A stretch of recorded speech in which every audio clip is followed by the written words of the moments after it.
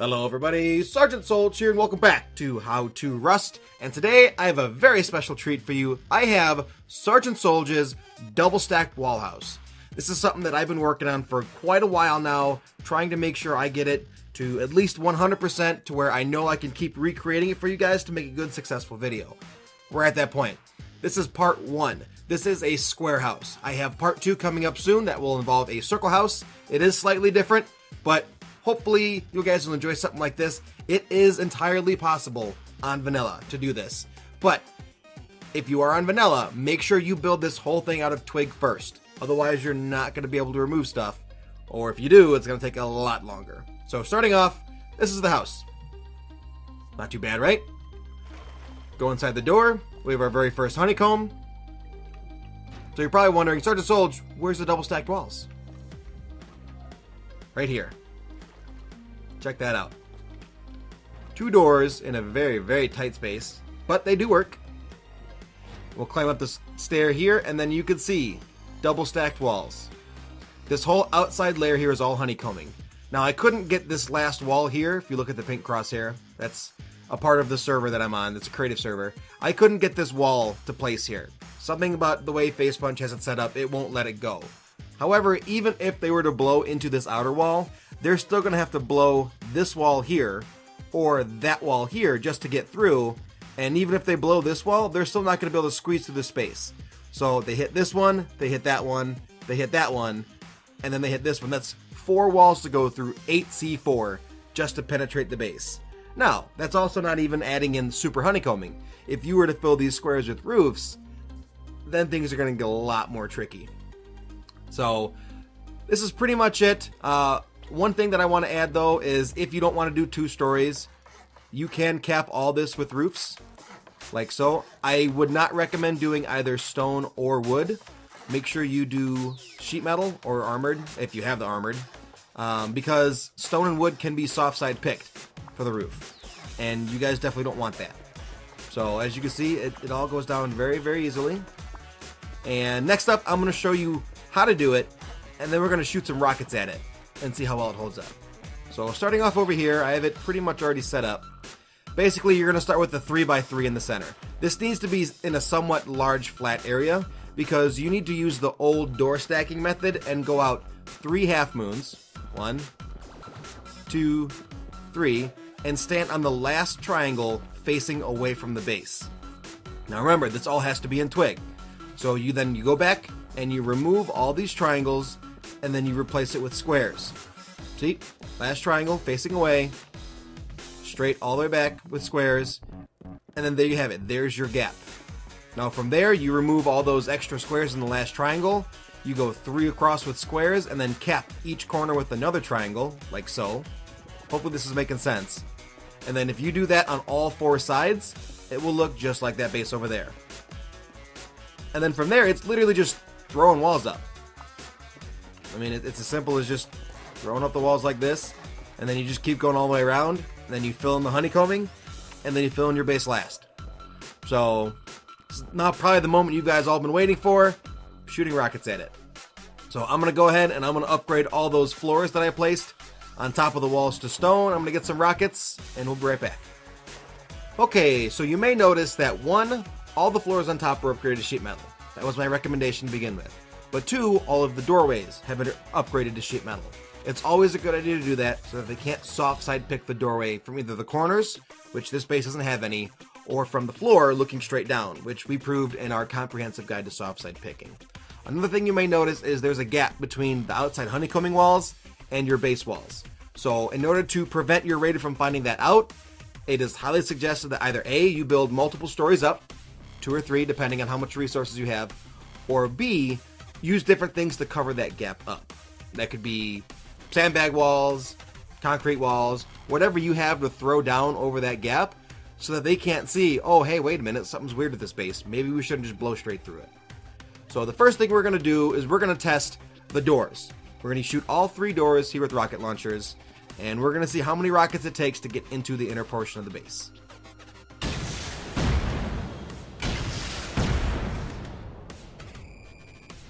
Go away, smoke.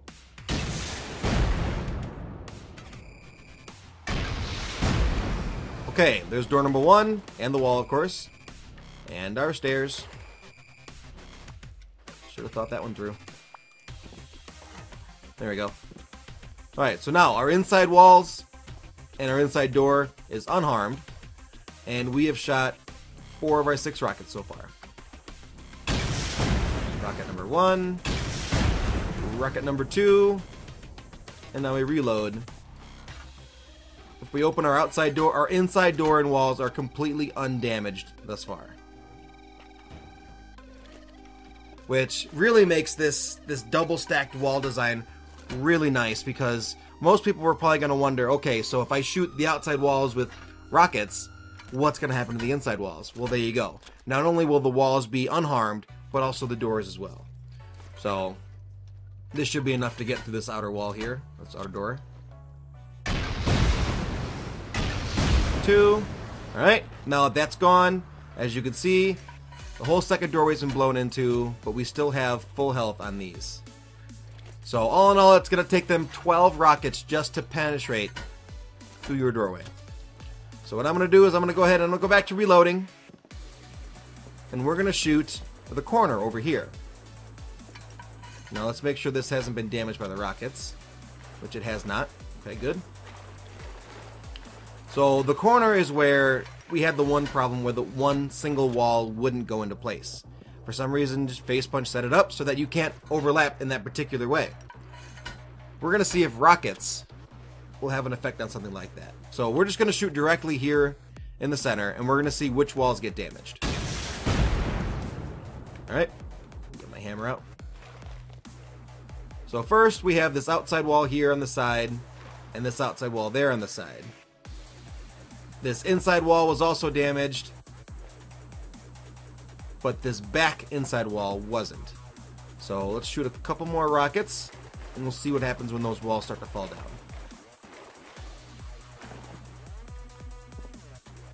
Okay, rocket number two.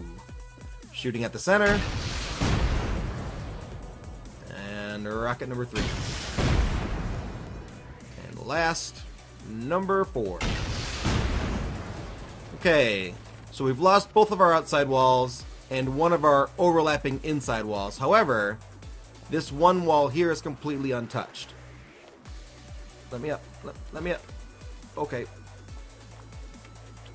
Gonna make this complicated. Stairs.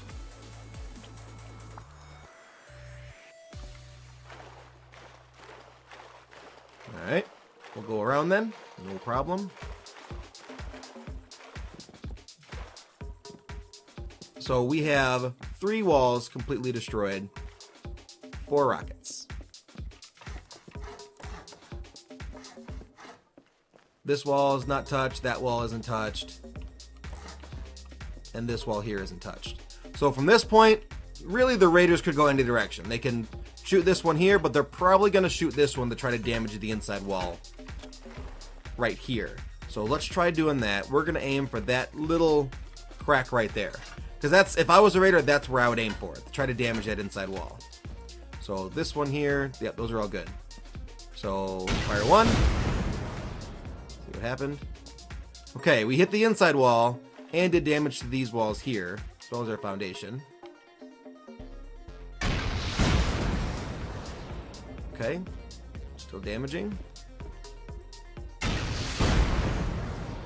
Okay, still damaging. Oop, lag there.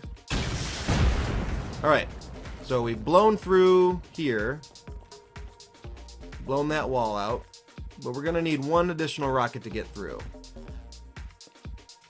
Unless you decide to, to pick it, or use a C4, or use grenades, whatever, we're just going to use rockets. And that now becomes 9 C4 to get into the base. Oh, we didn't blow that wall. I probably should have aimed at the corner over here. We're gonna we're gonna call that one nine because that was just me aiming at the wrong wall. So that's pretty much it for this episode. I am working on the circle design for a medium-sized circle tower. It's gonna be just as cool, I hope. Hopefully you guys will really, really enjoy it. It should take a lot more C4 because it is a much larger base. So it might not be possible for vanilla, or if it is, it'll be for a large group. However, this 3x3 design here, this should be pretty easily done by a smaller group, you know, three, four, five people. Solo, it might be pretty difficult. We're talking a lot of resources here. But for those of you guys on modded, you guys should be able to do this all day. So, Sergeant Solj, How to Rust, looking at Sergeant Solj's double stacked wall base, and we'll see you in the next How to Rust video. Bye bye. Thank you for watching How to Rust, a series for new players to the game of Rust. If you have any ideas for future episodes that could be useful to new players, please feel free to leave a comment in the comments section of this video.